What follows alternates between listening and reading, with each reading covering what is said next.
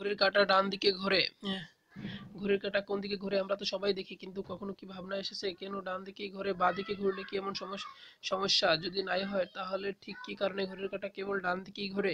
সবচেয়ে প্রাচীন যে ঘড়িগুলো সেগুলোতে কিন্তু কাঁটার ঘোরাঘুরি কোনো বিষয় ছিল না। হ্যাঁ সূর্যঘড়ি হলো পৃথিবীর প্রাচীনতম ঘড়ি। এই সূর্যঘড়িও কিন্তু অনেক রকমের ছিল। সবচেয়ে প্রাচীন সূর্যঘড়ি বলা হয় মিশরীয়দের অবেলিস্ককে ধারণা করা হয় মিশরীয়রা এই ঘড়ি বানিয়েছিল বানানো শিখেছিল। খ্রিস্টের জন্মেরও সাড়ে তিন হাজার বছর আগে।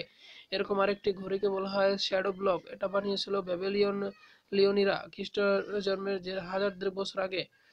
এখন এই সূর্য ঘড়িগুলোতে সময় দেখা হতো সূর্যের ছায়া দেখে। অর্থাৎ সময় নির্দেশক যে কাঁটা বা দণ্ড, সেটি স্থির থাকতো। সূর্যের আলো যে কাঁটার ছায়ায় পরিবর্তন দেখেই সময় হিসাব করা হতো। আর এখনকার ঘড়িতে আবার উল্টো। এই কাঁটাগুলোতে ঘুরতে, ঘুরে সময় জানান দেয়, ছায়া দেখার কোনো বালাই নেই। এরকম ঘড়ি মানে এই ঘড়িতে কাঁটা ঘোরার, ঘুরে সময় জানান দেয়, তেমন ঘড়ি প্রথম বানানো হয় তেরো শতকে, তেরোশো শতকে।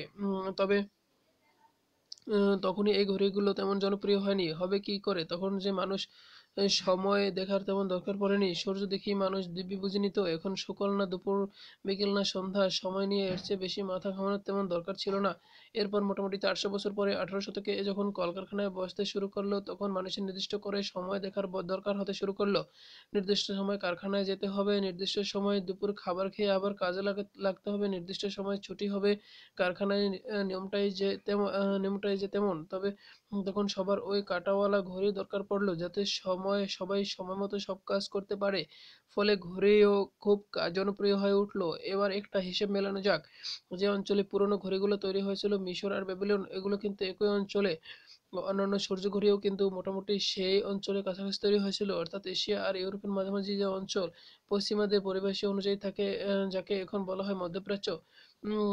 মিশর ইরাক ইরান তুরস্ক এই অঞ্চলে পৃথিবীর বিখ্যাত সব প্রাচীন সভ্যতাগুলোর বেশিরভাগ কিন্তু গড়ে উঠেছিল এই অঞ্চলে যেমন মিশরে, মিশরীয় সভ্যতা ইরাকের মেসোপটেমীয় সভ্যতা, ইরানের পারস্য সভ্যতা, তুরস্কের গ্রিক ও ট্রয়- ট্রয়ের সভ্যতা, মেসোপটেমীয় সভ্যতার আবার চারটি ভাগ আছে, সুমরীয় সভ্যতা, ব্যাবিলনীয় সভ্যতা, অ্যাসিরীয় সভ্যতা আর ক্যালেডীয় সভ্যতা।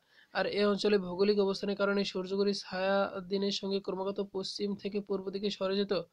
অর্থাৎ দিন যত গড়িয়ে রাতের দিকে যেত, ছায়াও তত পশ্চিম দিক থেকে পূর্ব দিকে যেত। সেখানে থেকে ঘুরে কাটার দিকের ব্যাপারটা এসেছে। সে অনুযায়ী ঘড়ির কাটা পশ্চিম থেকে পূর্ব দিকে যায়।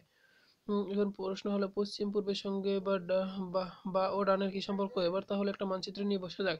মানচিত্রের উপরের দিকে একটা দিক নির্দেশক চিহ্ন থাকে। তার পাশে লেখা থাকে এন বা নর্থ। মানে মানচিত্রের উপরের দিকটা হলো নর্থ বাংলা যাকে বলা হয় উত্তর।